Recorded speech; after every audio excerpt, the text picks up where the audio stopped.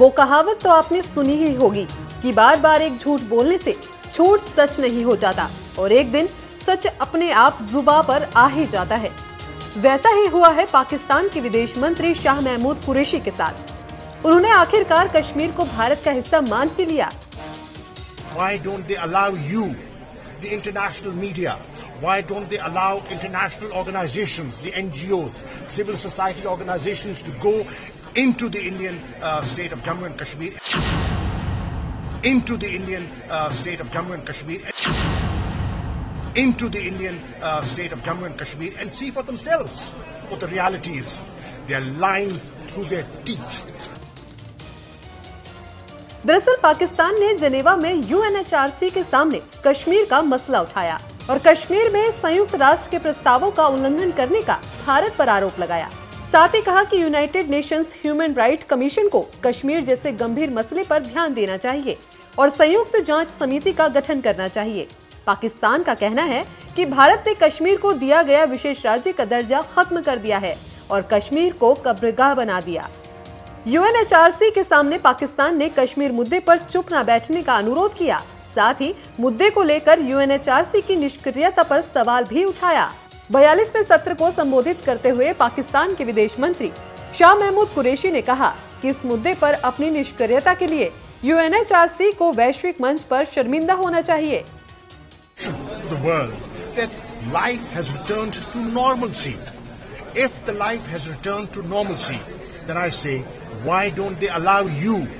International media why don't they allow international organizations, the NGOs, civil society organizations to go into the Indian uh, state of Jammu and Kashmir and see for themselves what the reality is. They're lying through their teeth. And once the curfew is lifted, the reality comes out, the world will wake up to the catastrophe that is underway right now. इस बयान में कुरैशी भले ही कश्मीर में सब कुछ ठीक ना होने की बात कर रहे हो कह रहे हो कि अगर कश्मीर में सब कुछ ठीक है तो मोदी सरकार इंटरनेशनल मीडिया को कश्मीर जाने की इजाज़त क्यों नहीं देती? लेकिन यहाँ कुरेशी ने कश्मीर को कश्मीर नहीं, बल्कि इंडियन स्टेट ऑफ़ जम्मू और कश्मीर कहकर संबोधित किया।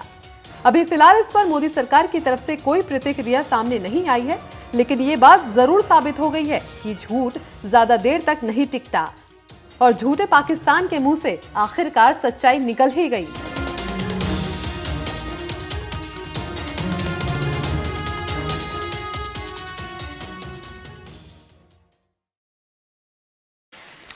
Distinguished delegates, India's effort to hide its atrocities in the Indian occupied Jammu and Kashmir by falsely labeling it terrorism and cross-border terrorism are shameless and indefensible.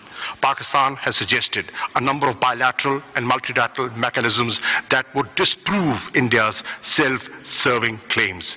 We have recently proposed to, the, uh, to, to double the strength of the UN observers mission to monitor the line of control. India outrightly rejects all these proposals. I have every fear that India will once again resort to false flag operations and the use of the bogey of terrorism as a red herring to divert international opinion, even attack Pakistan. Another Indian ploy to deflect attention is its increasing violations of the 2003 ceasefire understanding on the line of control and regular and persistent targeting of civilians in Azad, Jammu and Kashmir. India has used cluster munitions and heavy artillery in flagrant disregard of fundamental norms of international humanitarian law. This must end immediately. Mr. President, I have regularly sensitized the UN Security Council about the grave dangers to peace and security in nuclearized South Asia and beyond as, as a result of India's reckless posture and draconian measures. We have welcomed consultations by Security Council members on the unfolding developments. While the Security Council is seized of peace and security dimensions of the Jammu and Kashmir dispute, the Human Rights Council must pay far greater and immediate attention to the human rights of the people of the Indian occupied Jammu and Kashmir. In doing so, the Human Rights Council has, for its consideration, the two Kashmir reports issued by the Office of the United Nations High Commissioner for Human Rights in June 2018 and July 2019. Both reports make a clear recommendation to this Council to constitute an independent commission of inquiry to, investigate and report human rights violations in Jammu and Kashmir. I reiterate from this platform Pakistan's endorsement of the recommendations of these reports. We urge focused discussions on the two reports in the Human Rights Council and a unanimous decision by this House to implement their recommendations made to India, Pakistan, and foremost to the Human Rights Council. If India has nothing to hide, it should allow unhindered access to the Commission of Inquiry as recommended by the UN High Commissioner Pakistan stands ready to allow access to the proposed Commission of Inquiry or other mechanisms on our side of the line of control, together with similar access to Indian occupied and Jammu and Kashmir. Mr. President, the Human Rights Council may, must pay heed to the plight of the Kashmiri people and address the warning signs of a looming catastrophe. For this, the Council should immediately take the following steps. One, urge India to immediately stop the use of pellet guns, end the bloodshed, lift the curfew, reverse the clampdown and communications blackout, restore fundamental freedoms and liberties, release political prisoners, stop targeting human rights defenders and fulfill obligations under the United Nations Security Council resolutions and various human rights instruments as required by international law.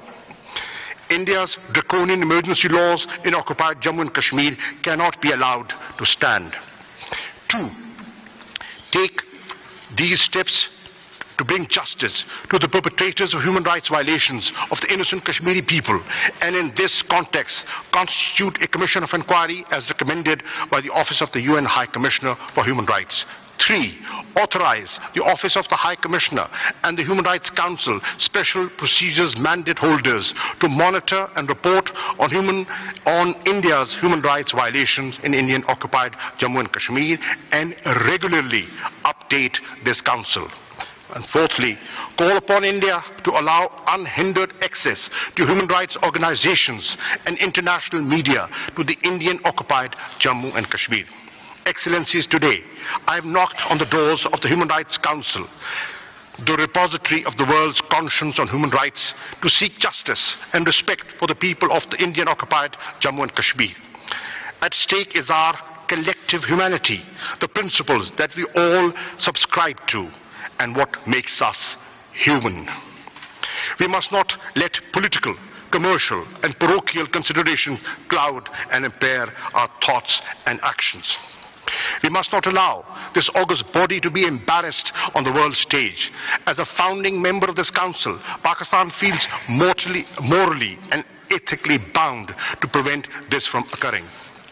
But to do so, we must not remain indifferent to the tragedy that is unfolding before our eyes. We must act decisively and with conviction. Distinguished delegates, let us not forget that history is replete with failed, barbaric campaigns to wage demographic wars to change facts on the ground. India's attempt must fail. But this inevitability must occur without allowing the illegal Indian occupation forces to spill any more innocent blood.